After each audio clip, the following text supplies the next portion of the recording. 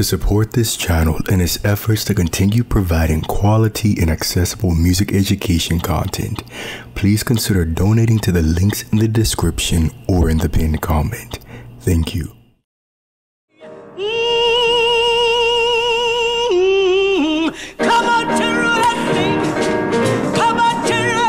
She's hailed as one of the greatest and most influential singers of all time. She's more than earned her title as the Queen of Gospel.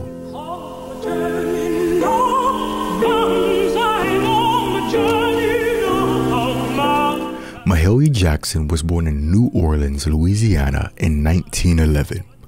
She started singing at the age of four her musical influences were the big voice belting blues singer Bessie Smith, and while Jackson herself was raised of the Baptist denomination, she drew inspiration from the sounds of the Pentecostal church.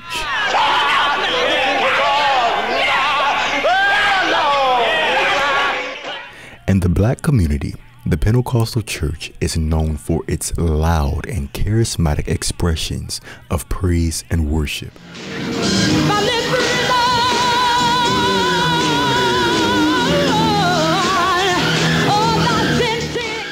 So, from an early age, Mahalia's ear was drawn to big and powerful sounds, for which she will eventually become known for.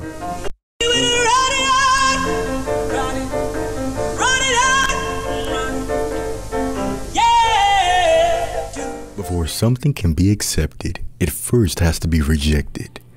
Jackson's big sound was rejected by many in the music community. In the late 1920s, Jackson would move to Chicago and enroll in voice lessons with black operatic tenor Professor Dubois. And when she sang, he told her, You've got to stop all that hollering. The way you sing is not a credit to the Negro race. You've got to sing so those white people will understand you. The idea that Jackson sang too loud is rooted in white supremacy. When Europeans enslaved Africans, their write ups of them depicted them as loud, unruly, and savages. Jackson is the granddaughter of former slaves. She's a part of a particular generation of black people post slavery that was adamant about assimilating to white culture. And part of that assimilation meant being quiet because it was believed that black folk should be seen and not heard.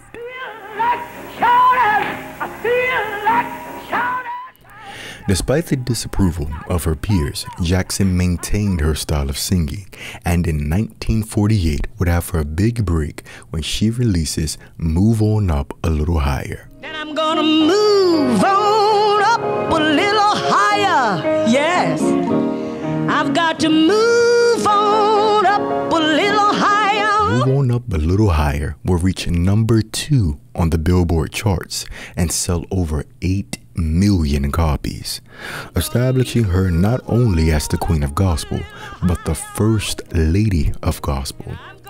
She will be the first artist to ever receive a Grammy Award for gospel music. The success of Move On Up a Little Higher will make Mahalia an international superstar amongst black and white audiences. And soon she was performing in the most prestigious music halls, such as Carnegie Halls. Critics consistently praised the sheer size and power of her voice, with many noting, this is a voice that belongs in the opera. She would even get offers to sing opera, to which she replied, I don't sing opera, honey. Jackson's singing and musical style are a testament to the overlap between opera and gospel. Oh,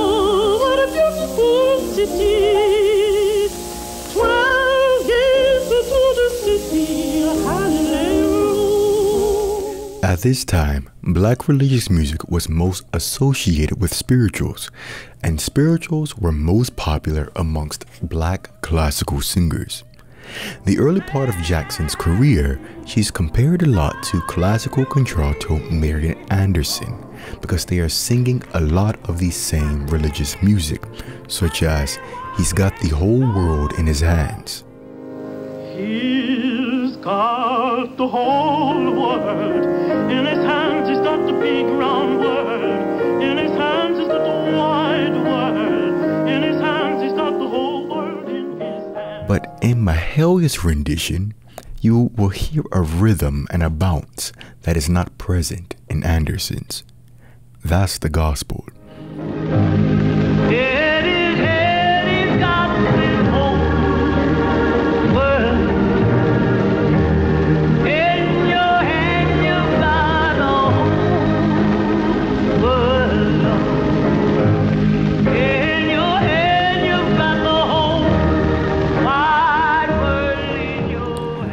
Classical singers aren't on the operatic stage, they make their earning singing recitals. A recital is just a voice, piano, and a stage. A Marian Anderson performance was just voice, piano, and the stage. A Mahalia Jackson performance was a voice, piano, and the stage. One of the first things a classical singer learns in training is to stand correctly. An aligned body makes singing so much easier. And you will notice that Mahalia's posture is extremely similar to that of a classical singer. Opera singers are expected to be heard in one, two, three, and 4,000 seat venues without a microphone. And they do that by keeping the vocal tract or the throat open throughout the entire range. If you look at Mahalia singing side by side with a classical singer, you'll notice her mouth positioning is nearly identical. Like an opera singer, she keeps her jaw dropped, her lips forward, and her soft palate raised.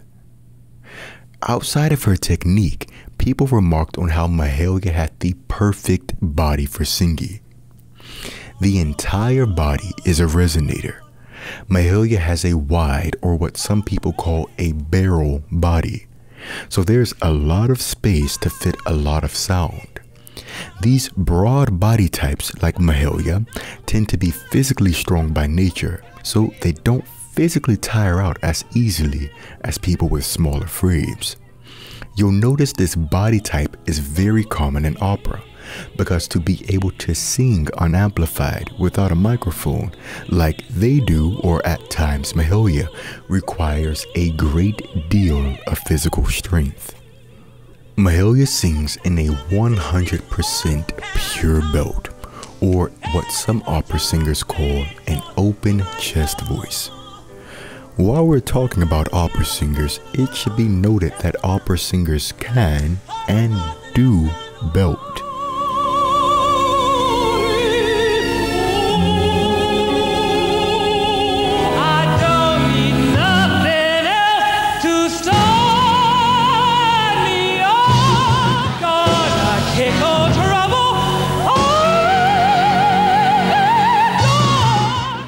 An interview with Black Music Archive, Grace Bumbry told us that she can take the chest voice all the way up to E above middle C. wide range, and I could carry my middle voice up up to D and E and then down also.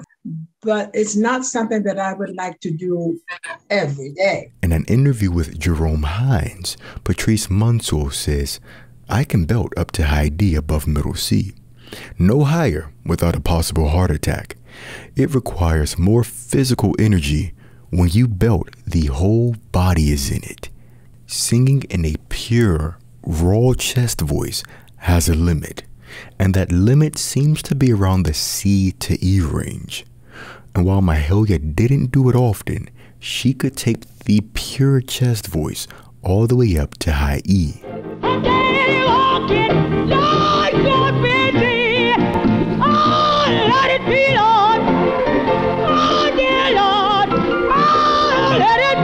This was a rare occurrence for her because, as Munsel and Bumbry mentioned, the sheer physicality to do this is not sustainable. The kind of belting technique that Mahalia or these classical singers use is not the same thing that is being done by pop singers such as Whitney Houston or Patti LaBelle. What Jackson and these classical singers do requires a great deal more of physical effort. It was said that at her best, to have the physical strength to perform, Mahalia would need a whole day's rest before going on stage.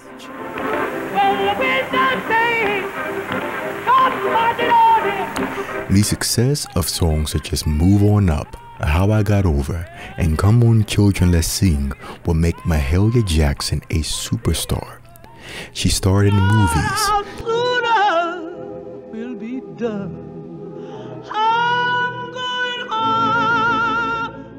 landed her own TV specials, and began a successful international touring career. In the midst of all this, she would run into the first of many health challenges when she collapsed on stage and was diagnosed with sarcoidosis. Sarcoidosis is a rare inflammatory disease in which abnormal masses form on organs in the body. These masses may alter the structure and function of the organs. The most affected organs are generally the lungs. For Mahalia, her lungs and her heart were most impacted. While the illness has no cure, surgery is a common treatment, and after her first surgery, she threw herself right back into work.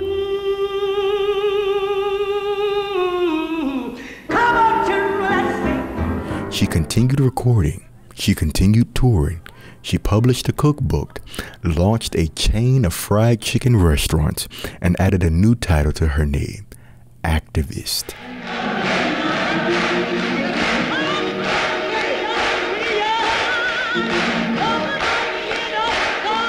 Adding to her already busy schedule, Jackson would take a liking to a young preacher by the name of Dr. Martin Luther King. Working with King and sometimes on her own, she would march or give free shows to raise money to support causes to fight against racism. By this point in her career, Jackson's celebrity was so huge. She was selling as many records and made as much money as the best pop singers, and was beginning to see the effect of her influence on younger singers such as Aretha Franklin and Tina Turner. Mahalia's style of singing made her voice difficult to categorize. Some say she was a contralto, some say she was a mezzo soprano. The easiest way to figure this out will be to look at her music in comparison to the charts for each respective voice type. Mahalia's singing style and song structures did not follow conventional methods found in contemporary or classical music at the time. She rarely used or explored the full extent of her range. When classifying voices, it is not about how high or how low you can sing, but where your power lies. It is where your power lies that is much more important than necessarily your range. It is where you can make your most noise and then the softest, most beautiful sound that carries through a 3,000 seat house that matters. The hallmark of Jackson's sound is singing where her power lies. The middle fifth is described as the central notes in the voice. The majority of notes in a vocal composition should lie in the middle fifth to keep the voice in the correct tessitura. The middle fifth comprises the notes of where a singer is most at home and sounds their best. Mahalia's compositions are all arranged sort of similarly, so let's take a look at the vocal arrangement for one of her more popular tunes, such as Didn't It Rain?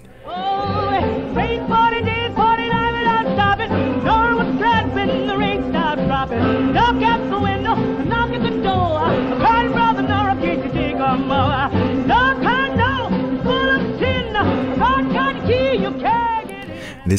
entire vocal line spans middle C to C above middle C.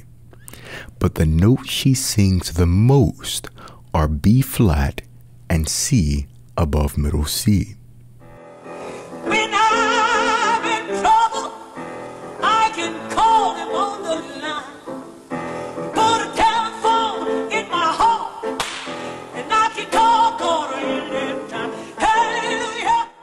On songs such as Elijah Rock, the line spans low A to C above middle C. But the notes she's hanging on to the most are the A above middle C. And if you're familiar with her work, her favorite note to sing, especially at the end of a song, was the C above middle C.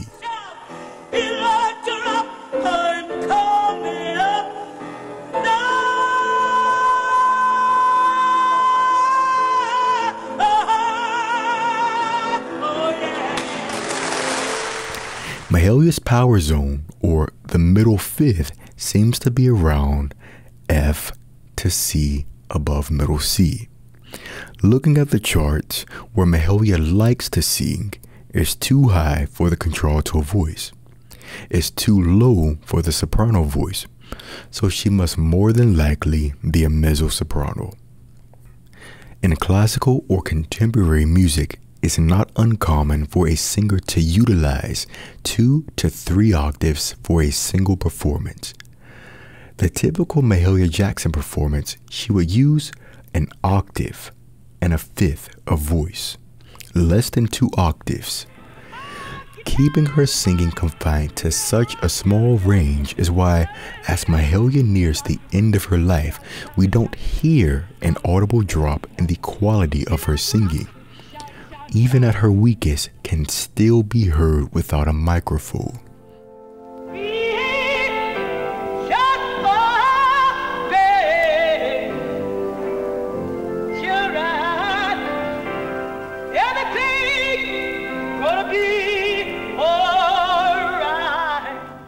But while we can't hear a difference, we can see a difference. As Patrice Munsel said, Mahalia's style of belting requires more physical energy because when you belt, the whole body is in it.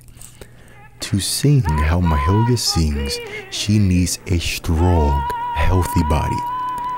But as sarcoidosis progresses, it weakens the body and its organs.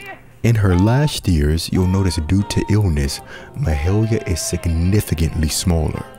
And as her body continues to weaken, it's becoming more and more difficult for her to physically support this style of singing. This is most evident on her final tour, where she is prone to nearly collapsing at the end of a performance.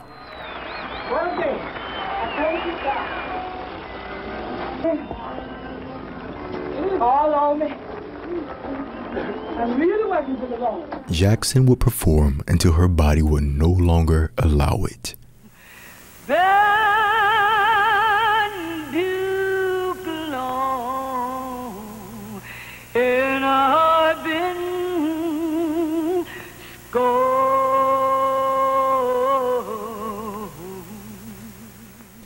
After her passing, the legacy of Mahalia Jackson will be continued through her musical children such as Aretha Franklin, Tina Turner, Little Richard, and so many others who will go on to become innovators and pillars within the music industry.